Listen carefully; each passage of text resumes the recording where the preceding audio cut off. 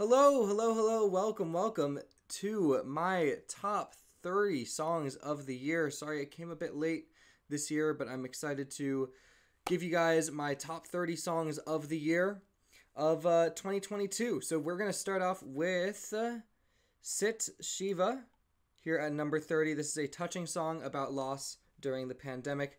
Up next, we have uh, this is God Turned Me Into a Flower by Wise Blood. Uh, one of the best builds I've heard this year. Just a beautiful, beautiful song.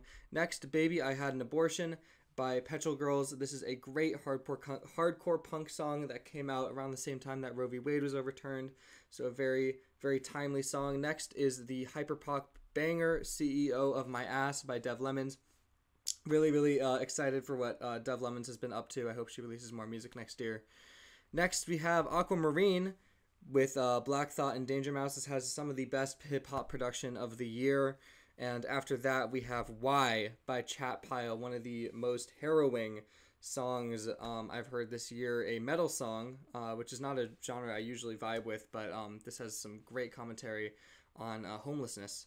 And up next, we have The Flag is Raised by Bladee and Ecco2k. This was the year that I really started to warm up to Bladee. Um, uh, this is being one of my favorite songs of the year. Uh, just the production on this is amazing. I love this this kind of dream pop sound that um, they went for on this album. I think it worked really well. Up next, we have Walkin' by Denzel Curry. Some of the best lyricism on any rap song this year. Amazing, amazing flows. Next is Matilda by Pup a touching song uh, written about the um, guitarist of Pup's uh, guitar, uh, which was named Matilda, and um, uh, how he misses that guitar. Just a cute song. Next, we have the cognitive trade off hypothesis by Viagra Boys. The song has a vibe that I cannot explain, it is so unsettling. Next, we have uh, at 20, Expert in a Dying Field by The Beths. This is um, uh, a great opener to an amazing album by the Beths. Uh, they are just unstoppable indie rock, uh, unstoppable force in indie rock. Uh, up next, Lungs by Stella Donnelly, a similarly really strongly wit- written um, indie rock song with a great chorus that's been stuck in my head all year. And up next, we have at number 18, I've Still Got Something to Teach You by Violet Pony. I know it is a, um, a, a brony song, um, but trust me, it is actually super super quality. Um, once you get past the the silly lyrics and the um, the album art, um, you'll find one of the best progressive pop songs you'll ever you've ever heard. And uh, up next we have Saoko by Rosalia, which is just a banger. Uh, uh, one of the most hype songs of the year. The piano switch up is incredible, and uh, Rosalia's vocal performance is so energetic. And up next we have About You by the 1975. Um, it's my favorite track on their new album, and it is just such a gorgeous, hazy dream pop song. I love the Carly Cosgrove feature in the middle of it as well. And uh, up next we have uh, Western Wind by Carly Rae Jepsen, which was her first single to her amazing new album. Um, and this is just such a breezy, amazing pop song. Really gets me into the spring uh, spirit. Up next is uh, Atopos by Björk, uh, her lead single to her newest amazing album, and uh, this one is actually insane. The woodwinds are are so out there. The melody is so unexpected. It's this really weird, unsettling kind of fun uh, club banger. And at thirteen, is Broken by Little Simz, which uh, upon first listen listen was uh, one of the most crushing and emotional songs of the year. A great, great song about the importance of paying attention to your mental health. And after that, at number 12 is Loveology by Regina Spektor. This is Regina Spektor's one of Regina Spektor's best songs, and it's been in her catalog for a while now. She's played it live um, since her early on in her career, and now finally it's released uh, official studio version of it. And it's uh, laden with these lush strings, and obviously the lyrics on this song are are, are just so uh, so powerful, but also so silly, uh, very memorable. And after that, at eleven, we have the Heart Part Five by Kendrick Lamar, which uh, is an incredible, incredible track. Uh, Kendrick Lamar's return ushering in his newest album, of course.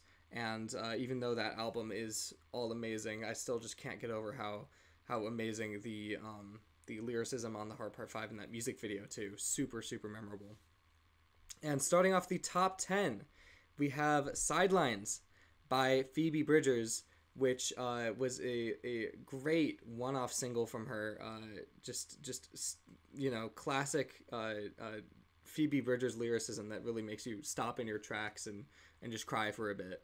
Um, I really hope that uh, that Phoebe does something uh, this upcoming year. That would be that'd be awesome uh, to follow up her amazing 2020 album.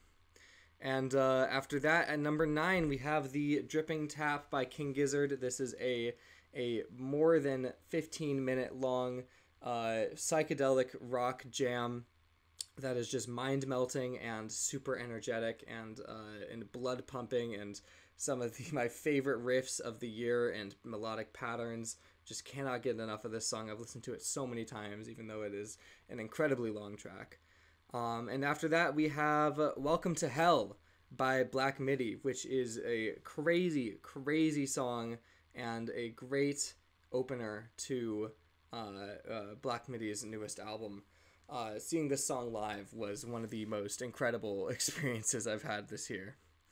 And up next, after that, we have a cover. Actually, this is um, uh, oh, sorry, no. After that, we have uh, Neon Memories by Death's Dynamic Shroud, uh, which bends electronic music to new places and uh, has an incredible drop. I'm really uh, taken by what Death's Dynamic Shroud has been doing recently, and uh, and hope they continue on that continue that with the um, with their releases in the upcoming year.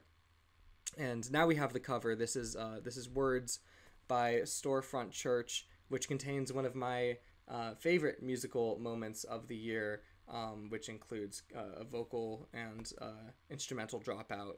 Uh, uh, just a very surprising and um, emotionally powerful moment. And of course, this is a cover of the the Low song um, "Words." Off of their first album. A tribute to uh, uh, one of the members of Low who passed away this year. After that, we have Billions by Caroline Polachek. This is one of the best produced pop songs I've ever heard. Uh, production's incredible. Love the children's chorus at the end, uh, the way the melodies weave into each other and just create this incredible soundscape. I do think the Caroline Polachek album is uh, shaping up to be one of the best albums of next year. After that, we have uh, Surround Sound by JID. This was on constant repeat for me for the entire year. I've memorized most of it. Uh, it is one of the few uh, few songs that I have completely memorized the lyrics to. Uh, I think JID is incredible on this track. This is really him coming into his his own and uh, uh, it really was his time to shine. And I think, uh, you know, obviously 21 Savage and Baby Tate kill it on the song, but he comes back with that amazing verse at the end. Just, just fucking incredible flows. Uh, cannot get enough of this song. This is 100% hip hop song of the year. And up next, after that, we have the place where he inserted the blade by Black Country New Road. Obviously, it doesn't have to be said, but I'll say it anyway. The song is devastating.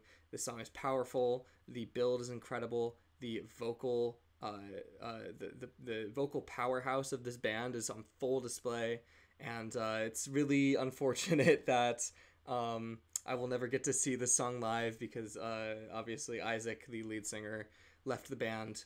And um, yeah, I've, I've heard that they're uh, uh, they already have a, a new set of songs that they're performing live, and I, I hope I hope they release that in some form um, this upcoming year. And up next, we have Simula- Simulation Swarm by Big Thief at number two. Uh, obviously, uh, Big Thief have been around a while in the indie rock scene, but I really think they came out with a masterpiece this year with uh, Dragon New Warm Mountain, I Believe in You, and Simulation Swarm is uh, an obvious highlight on that album. I would put uh, Little Things on this list if it hadn't already came out last year. Um, but Simulation Swarm is a, is a, is a nice close second. Uh, the lyricism on this song is so mystical. I love the guitar solo, it's just perfect. Uh, everything about this song just uh, really ties the album together and um, shows off how, why I think Adrianne Lenker is maybe the best songwriter um, alive at this point, active songwriter. And for the song of the year, my song of the year, that is going to be um, Concrete Over Water by Jockstrap. Um, for a while, my song of the year was uh, Simulation Storm, but in the last second, this one really just grew on me. Um, the uh, the the longing in the lyrics and the uh, oh my gosh, the the like the weird beat switch the directions this song pulls you are just so unexpected and so memorable and i really just cannot get enough of it. I've listened to it so so so so many times. Um, and uh, i it really makes me um, just beyond excited for uh, jockstrap as a duo because they really pulled something on this song that um, uh, something really unique that uh, i haven't heard from many other artists and that is my top 30 songs of this year. I hope you guys enjoyed. Um, if you want to check me out, I am on uh, Twitch, on Twitter, um, pretty much on every platform under the handle Jess Cam Will. And I do music commentary streams, and I will have a video out tomorrow for my top 30 albums of this year. So keep uh, keep your eye out for that one. It should be out pretty soon. Thank you so much for watching and uh, check out that video tomorrow.